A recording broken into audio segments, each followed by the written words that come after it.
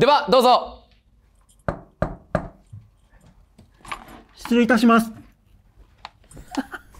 ろしくお願いします。お願いします。失礼いたします。今宵も一人の資源者が己の野望を胸に捕らえと挑むではまずご経歴をお願いします。竹太一、49歳、明治大学フランス文学科卒業、東京都出身。えーただいま、えー株式会社音楽で君を守る代表をやっております。では今回の希望金額と出資形態を教えてください。150万円融資でお願いいたします。あなたが思い描く未来の姿は？台湾で開催するアイドルフェスでドキュメンタリー映像を撮影し、世界一面白い日本のアイドル音楽の素晴らしさを伝えることの意義、そして、えー音楽で国境を越えて人と人とがつながる素晴らしさを伝えたい。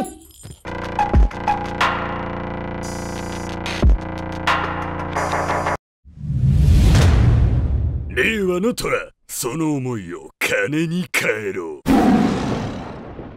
では、オーラナセン、新しい未来をつかみ取れ、キャッチザファンド。じゃあ、たけさんの簡単な経歴を教えてください。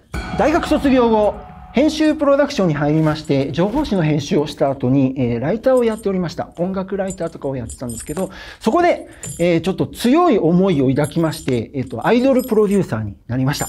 えっ、と、11年間活動した後に、えその強い思いをもっと広めなくてはならないという使命感に駆られまして、えー株式会社音楽で君を守るという会社を設立し、今に至ります。はい。じゃあ簡単に事業プランを教えてください。はい、えー、3月2日3日に台湾で開催するアイドルフェスのドキュメンタリー映像を作ってですね、先ほど申しました僕の強い思いをですね、こう世の中に届けられたらと考えております。よろしくお願いします。竹さん株式会社イヤシープ代表林直弘学習塾で全国制覇年商100億円超えを実現。次に仕掛けるのは極楽睡眠ヘッドスパイヤシープフランチャイズチャンネルで様々な業態を支援。積んだ金額は驚愕の2億円超え。積む積む積む。軍資金とノウハウを授けるフランチャイズの王。今宵も聞けるかサービスですよ。竹さんもう、かの有名な、ゆるめるも作られた方じゃないですか。ありがとうございます。そ、そそんなに有名ではないですけど。スーパー有名じゃないですか。皆さん知ってますか？ちょっとお金そんな有名なんですか？知らないの？有名なんですか？かの有名な、あのちゃん輩出したグループですよ。あ、そうなんですね。そうですよ。マジですか？僕のね、前職のね、武田塾のイメージキャラクター、あのちゃんを輩出した。すごいよね。それを輩出したというか、発掘されたわけですからね。はい。恐縮です。すごい。かなり実績のあられる方ですよ。で、なんかね、あのーちょっとやばそうな感じするけど、なんか、ところどころにちゃんとしてる感じは出ますよね、やっぱね。ええありがとうございます。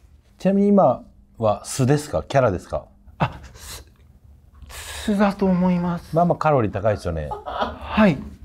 あ、こ、ここれがですか？いや、これがです。あ、あの、素だと思います。あの、う裏で、あ、あの、挨拶したら多分このような感じだと思います。すいません。ありがとうございます。はあの興味本位の質問でした。ありがとうございます。レゲエテイストやもんね。あ、ではなく、まあ、なんかちょっとこう、うん、こ、これとこれはなんとなく合うかなっていうのはあったんですけど、あの、特に、あの、レゲエも大好きですけど。デっていう、はい。単なる今日のコーデっていう。あ、そうですね。ありがとうございます。え、で、結局ビジネス、ごめんなさい、プランは何でしたっけ？えっと、3月2日3日に、イベント。イベントで、えっと、台湾でアイドルフェス開催するんですけど、まあ、そのフェスだけじゃなくて、そのまあ、海外で、その国境を越えて音楽で人と人とがつながる姿だとか、まあ、その日本で、日本で特に面白い音楽を世界で広める様だとか、そういうのをドキュメンタリー映像に収められたらなということ。この、えっと、フェス自体は竹さんがあの、僕が、はい、主催で。はい。これはジャパンエキスポとかそういうのじゃなくてもう単体で、単体で、はい。どういうイベントなんですか？あ、えっ、と、日本の、えっと、特に、こう、面白い音楽のアイドルグループさんを、えーいっぱい連れてって、そして台湾のアイドルさんとか香港のアイドルさんとかも出ていただくんですけど、まあ、そういうところでこう国際交流みたいなことになればなという感じです。アイドルエキスポみたいな。みたいな感じです。はい。どういう会場でやられるんですか？えっ、とですね、コーナーハウスというキャパ500人ぐらいのライブハウスです。まあそのイベントはイベントで普通に自力でやってそのイベントの裏っ側のドキュメンタリーを今回のトラからの資金でやりたいってことですねそうです。はい。でも500キャパはもうソールドしてるんですか？いや、あの、まだチケットを販売し始めてなくて、これから予想は？予想は、まあ、うーん、よく見て700ぐらい、えー、悪く、うん、振るわない場合、400、500ぐらいかなと。2デーでってことですよね。はい。いやけどね武さんともあろうお方が150万円ないわけないですよねいや、そんなことないんです。本当にな,、はいないんですか？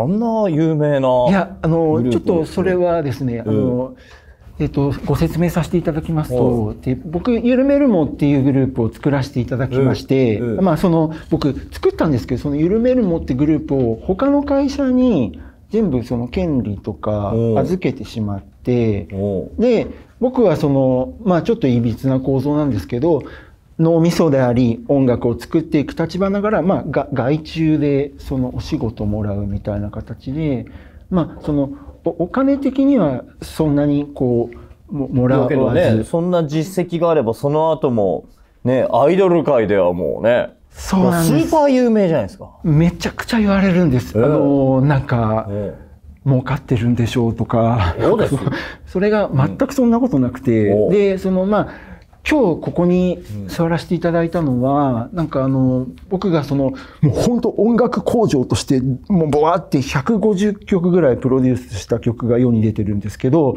まあ、そう、音楽作ることは長けてるものの、まあ本当このままじゃ、この強い思いは、このなんかまあアイドル村というか、この外側には広がらないなって思って、まあ昨年会社を作らせていただいて、ただでもやっぱり、あの僕はすごく商売がうまいとかいうわけでもなく、なんかこう、こう、ビジネスのプロフェッショナルな皆様方と、こう、この機会にもし僕の考えとかにご賛同いただけるのであれば、つながっていただき、なんかこう、ご、なんかこう、こう、そうだからもう一発ね当てられるならいくらでもねそれは投資したい実実績がありますから。ただただの融資ですからね。ビジネスを始めるのが何もないですからね。しかも今回、ね PV を撮るとかでしょ？ドキュメンタリー映像でしょ？ななんもなんかね逆にねあのあんまお金ないんだったらそれ返ってくるかもわかんないし。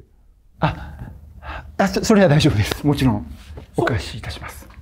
返せるけど今150万ないなんかよ固定収入とかあるんですか、固定収入は今は、うーんと、んうん、こ固定なのかな？なんか、まあ、イベントやったり、その音楽制作したりっていう分を、こう、いろいろいただいてるって感じ。毎月あ。る程度入ってくる分はあるけども、ね。ここで一発150万気軽に出せるような蓄えはないみたいな感じ？そうそうですね。はい。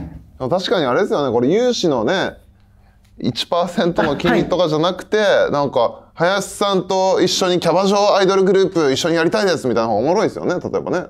ちょっと違うかもしれないけど、あちょっと違う。でも現段階で投資したいなって思いはちょっと出出てくるから、なんかた単純に だってえあのちゃん発掘した方ですよ。ね。今宵タイガーファンディングに挑むのは有名アイドルの発掘者として名を馳せるあの男。そのキャラクターとプレゼンテーションで開始早々虎たちの心をつかむ。序盤戦一体どうなる？新生イエローキャブフランチャイズ加盟店大募集。詳しくは概要欄から。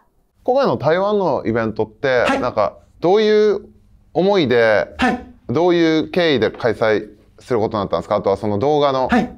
撮ることによるご本人たちのリターンとか知りたいですね。はい。ありがとうございます。僕、あの、大学生の頃に、あの、ヒッチハイクとかで、バックパッカーとして休学して世界一周してまして、まあ、その時の体験が、後々に生きてくるんですけども、あのライターやってた頃に、東日本大震災が起こりまして、なんかこれ僕、社会のために何かできないだろうかって強く考えた時に、あの、就活で失敗して自殺をする若者がいるっていうニュースを見まして、ですごくそれに強烈な違和感を覚えまして、まあ、あの、その、こう、そんなに辛ければ逃げてもいいんじゃないかとか、まあ、世界はもっと広いし、その、日本の中でこう、狭い大企業の門に受からなかったからといって自殺をするというよりも、もう、まあ、世界に目を向けようって思った時期がありまして、で、あの、僕があの、世界に目を向けたくて、アジアのポータルサイトを作ったんですね。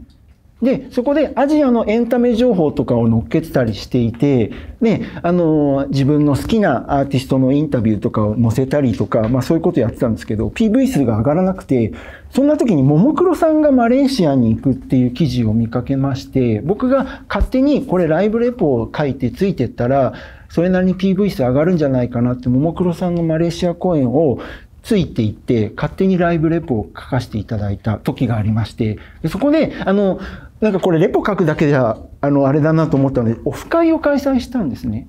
で、そしたら、あの、なんか日本人の方とか、まあ、そのタイ、シンガポール、マレーシアの方がいっぱい集まって、60人ぐらい集まったんですけど、そこで国際交流が行われて、で、一人一人の方に僕がこう話を聞いて回ったら、日本人の方は半分ぐらいが初めて海外来たって言ってて、で、こんな国境を簡単に越えさせるアイドルグループってすごいなーって思って僕帰ってアイドルをやろうと思っていろんな人に声をかけてみたその原体験がありまして、まあその、なので、なんかその、こ国境、まあ本当に何十人の話かもしれないですけど、それをきっかけに海外に行ってくれて、その人の世界が広がればいいな、みたいなそういう思いがあって、僕はどんどん海外でアイドルフェスを開催していこうと思いまして、はい。今回は1回目ですか？株式会社カードン会長トモハッピー。カードゲーム専門店ハレルヤを創業年商は60億円超え。伝説のプロゲーマーが次に手掛けるのはマジック・ザ・ギャザリングをはじめ全てのカードゲームを取り扱う超総合店カードン。ホビー界のエヴァンジェリストは志願者のライフを癒すのかあるいは強烈な一撃を叩き込むのか今回は1回目ですか？1回目なんです。ああそうですか、はいそうその記念すべき思いの集大成の1回目を映像にしたいと、はい。で、それをこう映像にして残すことで、あ、また次も行ってみたいなだとか、なんかその海外楽しそうだなだとか思っていただける方がいっぱいいたら、まあ、つながっていくかなという、そういう思いで作らせていただければと思いました。まあ、イメージしやすいですよね映像があった方がね。そうそうなんですよね。うん。普通はなんか、行ってみたら楽しいんだけど、アイドルのライブに海外行こうって気軽になんないですもんね。そうそうなんですよ。熱狂的なファンの方じゃないと。そうなんですよ、ちょっと怖いなとか、想像できないなっていうものをこう楽しそうな映像を見せることで、より身近に感じていただけるかなと思いまして。それはわかるですね。僕カードゲームで結構海外行ったんですけど、はい。まあもうそれは趣味っていう域を超えてだんだんもうプロになっていってって感じですけど、海外行くのって重いんだけど行ってみると意外と楽だしめっちゃ楽しいんですよねそうなんです。それがアイドルのライブでそういう国の架け橋になれたらいいですよねそうです。うんなので僕もそのイルメール持ってグループやってる時にメンバーたちはみんな海外行ったことなかったんですけど僕がこう無理やり無理やりじゃないですけど楽しいんだよっていうので16回海外公演してるんですけど、まあそのそれやっていくとみんなも海外が好きになってしまってまあその小さなところからですけどこうやってまあこうみんなの世界が広がっていけばいいなって思いのもとやっております。ドキュメンタリーは撮ったらどこで公開するんですか？あ、それはちょっと皆さんとご相談させていただければと思いまして、ちょっと僕が YouTube チャンネルとかを持ってないもので、その公開元は、まあ、皆さんに一番届く形があればなとは思いつつ、まあ、例えばこう、ご出資いただいたとしたら、皆様の関連なされてるどっかのチャンネルとか、なんかいろいろご相談させていただければと思います。そうか。それはちょっと僕個人的にはきついな。チャンネルの色があるですからね。そうですね。あそうですよね。でもとはいえそのせっかく撮ったものも多くの人に見てもらわなかったら今あのご自身がおっしゃられたそのいろんな人にそういう体験が届けばいい海外に行くって気分がいけばいいっていうのはやっぱ見てもらわないと始まらないそう話じゃないなんですよね。まあ、それか僕がまあこの機会に、まあ会社のチャンネルなのか僕自身のチャンネルなのかイベントのチャンネルなのかを解説して、まあそこであの発信していろんなまあ出演したアイドルの方々とか皆様方にまあちょっとその拡散にご協力いただくとかまあいろいろと考えております。新チャンネルだと人の目に触れないですよね。そうですよね。でそうなると令和の虎チャンネルって思うけど岩井先生今日いないですよねこの場にね。まさかのあっちにもいないんですよね見学席にも。そうですよね。そうだな。動画の公開してる場所だったり、まあ、どう見られるのかが全く今浮いちゃってるとちょっと。そうなんですよ。そこがちょっと。難しいですね。アイドルのドキュメンタリーを見て。時代を先取りする動画マーケティング界のパイオニア。株式会社サンエイト代表取締役竹内浩一 YouTube の可能性をいち早く見出しビジネス界に激震を与える。好奇心旺盛で人を巻き込む力はまさに天然ブルドーザー。YouTube 界の太陽はいかなる志願者の未来を照らすのか。アイドルのドキュメンタリーを見て海外に行こうと思う人はほぼいないと思うんですけど、いやあのコンセプトが、い、やアイドルの普及を海外要はインバウンド向けにしたいだったら分かるんですけど、ちょっとなんかずれてるんじゃないかなと思うんですけど、はい。そうですね。まあそんなおお大人数がいるかな。あでもこうどどうでしょう？僕だったらその楽しそうに海外を満喫しているファンの方々とか交流している姿とかを見て面白そうだなって思うんですけど、そんなにですかね。うんそうですよね。いやそのカスタマージャーニーと言われるはいところが、そのなんか海外に行きたいと思ってない人がそれを見てうわ海外楽しそうだから自分が海外行こうにはあごめんなさいねいやこれやろうとしてることはいいんです、はいはい全然ただそのゴールが、はい。例えばあアイドルが好きなオタクがそれを見て、はい。海外行こうにはならないと思うんですよ。だからそれがゴールだと、え全然僕アフター動画とか見て行きたいなと思うんですけどフェスとかの。いやいやアイドルを見るんだったらいいんですよ。えごめんなさい僕はずれてます。あ、いや、あの、あの、ごもっともなご意見だと思います。まあ、ぼ僕は、その、いやアイドルは別にどこに行こうがファンはついていくじゃないですか。海外だろうが国内だろうが。そうそうなんです。ただ、あの、ちょっと抵抗がある人のハードルは低くできるかな、みたいな。あの、推しのアイドルが海外行く、行きたいんだけど、なんか、ちょっと海外怖いな、どんなかちょっとイメージがつかないって言って躊躇してる人はいっぱいいると思うんですよ。そういう方々が、まあ次、ハードルを低く。ああそういうことか、はい。あごめんなさい。僕がずれてました。あ、全然別に。大丈夫です。ありがとうございます。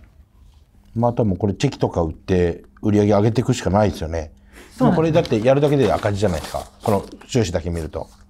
あ、いや、あと、チケットの入場料と、あと、オフ会も僕開催するんですけど、オフ会の入場料と、あと、まあ、あの、各演者さんから、あ僕はあの、グループを持ってないので、各演者さんから、まあ、物販手数料という形で何パかいただくみたいな形。あだからそのチェキとかであ、そうですね。そうですね。はい。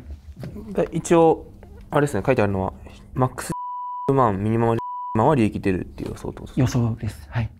まあ、その辺はちょっとイベントが水物なので、うんまあそうお客さんの、ごめんなさいこれ利益か？売り上げじゃないんですようーん昔からそういう感じのキャラクターなんですか？大学生の頃とかキャラクターはそうですね。はい。え大学生の頃からこのこういう感じで世界を回っていろんな方々と交流してみたいな感じでした。えええもう子供の頃からそんな感じなんですか？だと思います。はい。いや僕も結構そのバンドしてた時に海外も数十回行ってるんで、はいはいそのもう楽しさとかその空気感っていうのすごくわかるんで、はいだからそれはすごく応援したいです。ありがとうございます。ただやっぱりその戦略というか、はい作ったもの作って終わりじゃないじゃないですか。そうなんです。はい。そこなんかもうちょっとなんかそうですね。なのでちょっと僕があの先ほど申しましたそのアイドルプロデューサーになったきっかけとかもそうなんですけど、僕なんかもう本当に音楽でその人のために人を救えるってちょっともう頭がそっちに行っちゃって思っている節がありましてもうこれ狂気に近いんですけどでもうなんか自分のこうあの伝え方で救える人がいるっていうのが確実に光として巧妙としてぐわって見えてしまったのでひたすらそこをやっていかなきゃって使命感で音楽で君を守るって会社を作らせていただいたんですけどなんかまあそういったものの面の中の一部分がそのドキュメンタリー映像という感じなんです。でちらなみに社名めっちゃ好きっす俺。ありがとうございます。めちゃめちゃいいです。ありがとうございます。人生で聞いた社名で一番いいかもしれない。ありがとう何してる会社かも分かりやすいし。ありがとうございます。めっちゃ好きです。ありがとうございます。それ伝えたいだけで内容ないコメントすみませんいえとんでもないです。あの励みになります。頑張ります。ありがとうございます。これ、えっ、と、出演するアーティストの方たちが、例えば、1、2、3、4、5、6、7、8アーティストいるじゃないですか。あ現状ですね。あのプラスもまだこれから決まってきます。え例えばですけど、はい。えっと、10, 10アーティストいたら、はい。ドキュメンタリーを順分割にして、えっと、いワンボリューム1、2、3、4で流してもらう、えっと、許可を得て、はい。で最終的にあの一本流しみたいなのもあなた自分のチャンネルでやるんであればハブコンテンツとしては流れてきます確かに。ね、はい。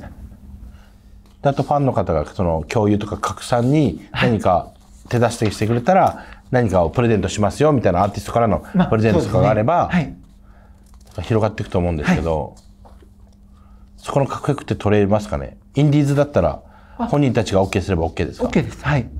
販売となるとちょっといろいろあれがあロイヤリティとか販売じゃないです。あの編集の段階で。で今日僕がこちらに出演させていただくことも各グループには了承いただいておりますちょっと僕ジャンル的に全く分かんないんですけど、はい。あのアイドルのそのファンコンテンツだったり密着コンテンツを出してるはい。人気 YouTube チャンネルとかないんですか？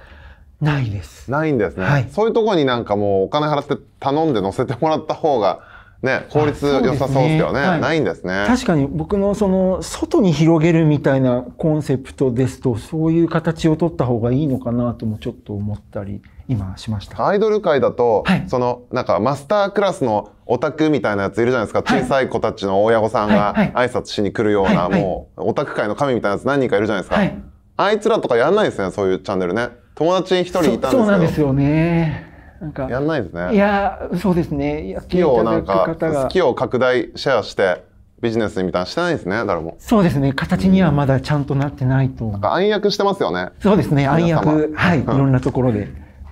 そっか。ここの結局動画が見られてそのリターンとかじゃなくて見られることすら今ままならない状態っていうのは 厳しいですよね。遠藤さんなんかないですか？明暗そんえな流すこと？動画が見られるた見らめには。れること？うん。まあ結局アイドル拡散するからそそんな心配することなんみたいな。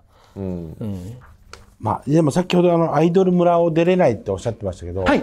出る必要ないと思ってて好きな人だって興味ない人に無理やりアイドルを見てって言ってて見ないじゃないですか。あえっ、とですねそうなんです。ただ、えっと僕がもともとそのアイドルにそのこだわりがすごくあるわけではなくその音楽で人を助けたい人を守りたいっていうところから始まりそのために、まあ、最初はアイドルというフォーマットが広がりやすいなと思って、まあ、選ばせていただいて、まあ、11年間そこの中でプロデュースなどやらせていただいたんですけどやっぱりそうなんです。おっしゃった通り、そのアイドルに興味がある人はアイアイドルしか聞かない。っていうか、えっと、アイドルに興味ない人が聞かないみたいな状況が、それが一般的なバズだったり、ヒットだったりしていくと広がっていくんですけども、あの、もちろん僕はそこを目指してやっておりまして、まあ、ここの本当にアイドル界だけに届く、それも大事なんですけど、それだけではなく、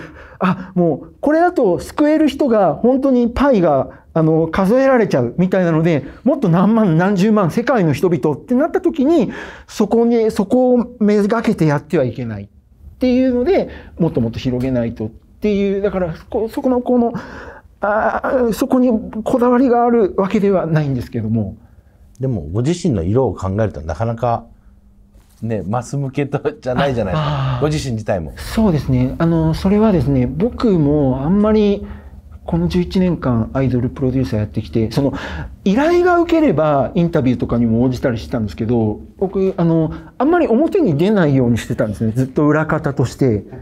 ただ、その、会社を始めたとなると、僕自身が発信しないとこれ思い届かないなと思って、出ていこうと思ったのが、こもう最近です。で、まあ、出るからには、まあ、こんな、つまらない顔をそのままお見せするよりかは届きやすい形でみたいなのをちょっと考えながらという感じです。まあ手段はいろいろ間違ってるし課題だらけだと思いますけど。ありがとうございます。あ音楽で人を救うというのは非常に共感できるんで一旦僕は30番。ありがとうございます。僕も音楽でだいぶ救われてきたんで。ありがとうございます。あそうなんです。僕も本当に救われてきた思いをこう返したいなという気持ちでずっとやっております。ありがとうございます青さんから30万円が出ました。音楽は人を救える。信念を熱く語る志願者に青の心が共鳴する。札束が動き始めた中盤戦。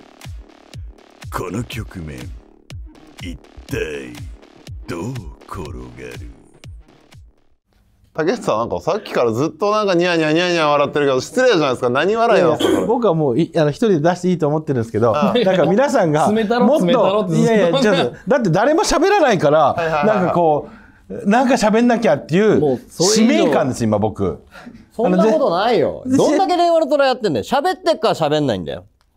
なるほど。そうだよ。竹内さんばっかずっと喋ってるずっとさんが喋りたいのかと思ってさオッケーオッケーオッケー得意分野だ映像だと思ってだから喋ってないんだよこれから頑張っていきたいこととか聞きたいですね。ちょっと面白いんで、なんか。はい、あありがとうございます。あのーそのですね、あのー音楽で人を助けるので、あのーまず、まあちょっと、大きく二つあり学校をます。作りたい。はい、学校を作りたい。えっと、それはですね、あのー葬式で音楽流したい。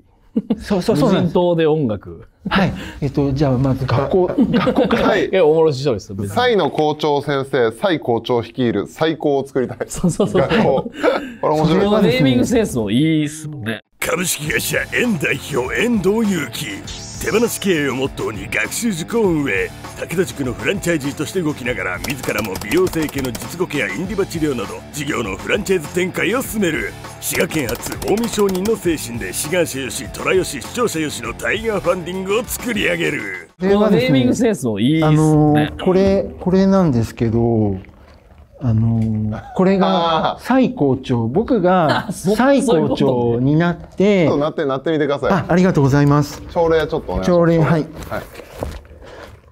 これが、蔡校長で、最高長。まあ、あの、校長先生が皆さんに、君たちは最高であるっていうことを、あの、まあ、自己肯定感をこう、あ上げるというか、まあ、そういう皆さんのことを全肯定する学校を、こう、最校長。で、それが最高なんですけど、あの、よろしければですね、面白い面白い見た目 これ効果がありまして、最高長の効果、最高価って言うんですけど、あなたは最高価っていう意味の、す最高すげえ。いません。やりたいことちょっと実現してますね今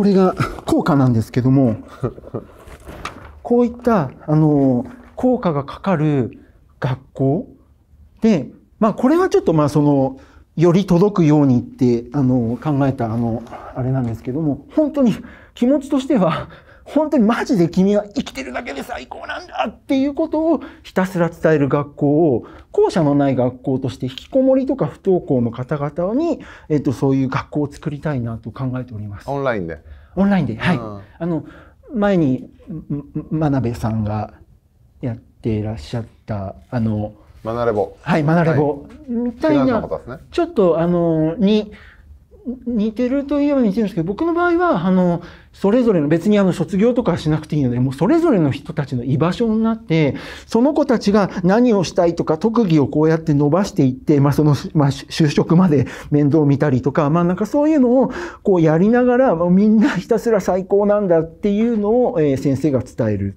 っていう学校をやりたいなと思って、それはあの、その緩めるもってグループが、辛い時は逃げてもいいんだよっていうようなテーマをずっと掲げてやってきて、116曲出してきたんですけど、そしたらもうメンバーとかお客さんとか、引きこもりの人たちがいっぱいいらっしゃってありがたいことに。で、僕は居場所をこう作ることができたんですね。で、その11年間で自分のライフワークは音楽で人の居場所を作る、音楽で世界を広げることだって思って、まあそれをより広げるために、じゃあこれも学校にしよう、みたいなので、最高すいません長くなってしまってはいまあ、僕はコンセプト好きですねアズール株式会社代表青笹博文医学部卒医師免許取得頭脳を武器に動画編集案件獲得スクールなど事業を拡大。スキル獲得こそが安定と自由の根幹。理念を掲げる動画編集キャンプは主要7都市へと展開する。動画マーケティング業界の未来を変える。青より入れてさらなる深みを持つ青を求める。まあ僕はコンセプト好きですね。いやー ありがとうございます。ありがとうございます。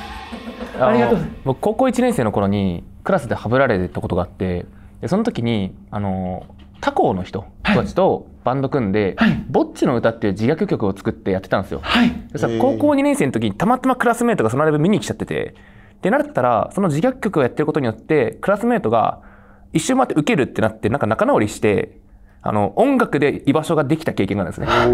だから僕は共感します。ありがとうございます。青さんから追加で20万。合わせてここまで青さんからは50万円になってます。ありがとうございます。最高最高言うとね、法の花三宝業しかわかんねえんだよな。まあわかんないよな、みんな世代的に。最高ですかっての昔あったからね。うん、そればっかり考えてましたね。僕からは以上です。ありがとうございます なんかすごい今後やりたいこととか含めて、そのねやりたい今後やりたいことにこうオプションでここまで準備してきてるサイの仮面とか普通持ってこないじゃないですか今回のプランと関係ないのにそれすげえなと思ってあの竹さん暑い中かかりたいなと思うんですけど結局今回の150万が映像を作ってそれが見られるのどうしようみたいな見られるためにはと見られた上で本当に150万かける価値があるのかっていう点においてなんか応援でなんかお金出したいかかりたいけどそのこの内容がどうかなっていうのが残ってるんですよね強いしこりが。そうですよね。はい。そうなんですよ。それはあの非常に理解ここでなんか林庵とかないですか？ウルトラミラクル雑ぶり。ないです。これ難しいですよね本当に。まあでもこれをきっかけになんかパイプを作って、その後のネクストアクションで、なんか、はい。それでね、十分だと思う。うん、ありがとうございます。こういう感じで150万使ってたらそれはいっぱいね音楽で喜ばれてもお金たまんないですよね。そうそうなんです。はい。ででも150いやでもやっぱアーティストなんで、ね。もう金儲けじゃないですもんね。あ人を救いたいですもんね。今まではそうでした。あの今まで本当ひたすら音楽を作る、うんうん。おお金はいいからひたすら音楽作る。もう届けばもう満足みたいな感じだったんですけどそれだとやっぱりそのビジネスという大海原では戦えないなと思って、ちょっとこれはそのもう学校規模だとかそのアプリ規模だとかそういうふうになってくると本当にやっぱり僕今裸で本当になんか戦ってるみたいな感じで、そうもう皆様というプロフェッショナルの方々になんか武装の仕方を教えていただいて、まあそれ戦いに出ないとちょっと本当にこの先広がらないなっていうのを強く思って、ちょっとこの場に出させていただいて、ちょっとこう。その心境の変化は何かきっかけがあるんですか？あ、いや、やっぱりあの、それは10年、11年やってきて、あ、これ、このやり方だと届くのここまでだなっていうのが、まあちょっと時間かかっちゃったんですけど、まあちょっと見えてしまって、もっとその、ね、各地にいる引きこもりの方々とか、まあ世界の方々とかにもっと届かせるには、もっと自分がパワーをつけないとダメだと思って、あの、それが心境の変化です。はいありがとうございます。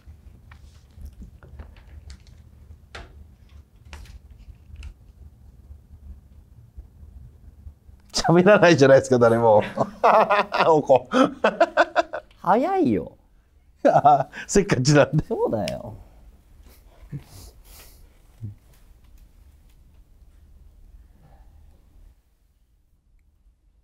あやっぱ誰も喋んないね。ごめんごめん。あ、ごめんごめんごめん。あーつって。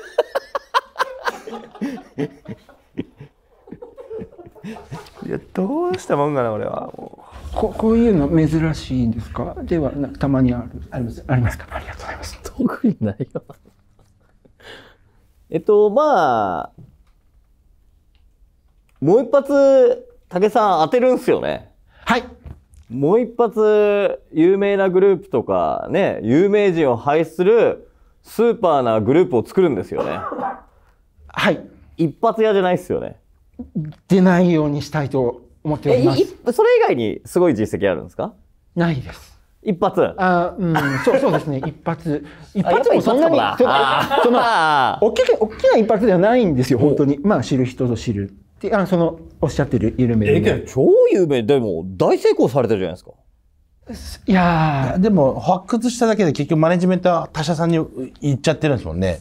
あ、そうですね。そこのマネジメンント能力だったり営業力が強かったから大きくなっやめてまた喋んないでよもうあいつで つって。まあいいや,、まあいやわかるけど、はい。い、や同じこと気になった。えだから次はまあしっかりマネジメントする？ちゃんと儲かるようにする？はい。本当？はい。大丈夫？はい。一発当たる、はい。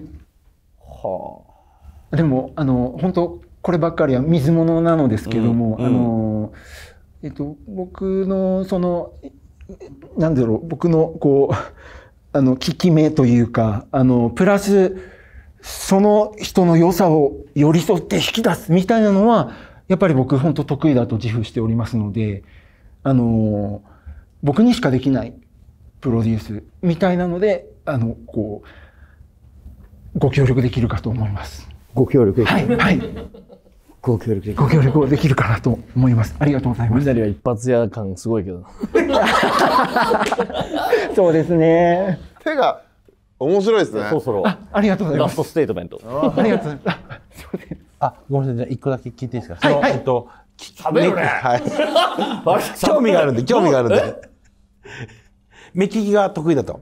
はい、と、で今あの話題に出てるのは1アーティストしかいない中で、はい。他にいやこれもこれもこれもあるよってだから僕の目利きが効くんですっていう、なんかこう推しが推それしというか。はですね、いいっぱいあのおすすめ推しはいるんですけど、まあそれがやっぱり世では跳ねるかどうかっていうのは、いやそこが目利きじゃないそうですか。ですよね。あの、となりますと一発屋です。わかりました。はい。大丈夫ですか？最後一発屋で。パーソナルジムアンカー代表フリーアナウンサー雫石正勝。日テレ系列のアナウンサーを退職後フリーへと転身ダイエット話し方教室のオンラインスクールムキムキにならないジムアンカーを運営。タイガーファンディング司会までをも務め上げる。見てください。すごいですよこの体。日本一マッチョなアナウンサー。志願者に寄り添い新しい未来へとたどり着く心身を鍛え上げる。大丈夫ですか？最後一発屋でちょっと。大丈夫です。はい。これこれまでのところ一発やったことですね、はい、はい、これをこれからはあのどんどんと、あのは。いぼっかんぼっかんあのやっていきたいなと思もうっております。最高潮当たると思うなこの男一発屋か。あるいはさらなる成功を生み出すのか。虎と志願者の思いが交錯するタイガーファンディング。物語はいよいよ最終局面へ。導き出される答えは。思いついたのがすごいですね。リライブシャツというシャツなんですがさあそれではお時間になりましたので最後にもう一声お願いしますラストステートメントですはい、えー本日は本当に皆様このような機会を作っていただき本当にありがとうございます。貴重なお時間と貴重なご意見と本当に感謝しております。ありがとうございます。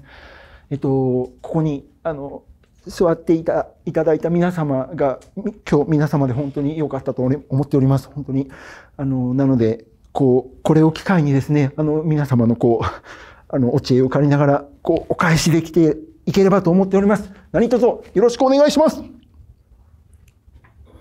はいありがとうございますそれではありがとうございます。壁側をお向きください、はい、ありがとうございます。失礼します。ありがとうございます。ではファイナルジャッジメントタイムです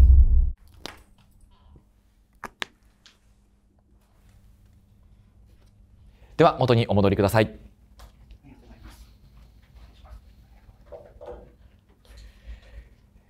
では最終決断に入ります。青さんからはもうすでに50万円が出ていますが改めて青さんお願いします。はい、僕はじゃあこの50万円で。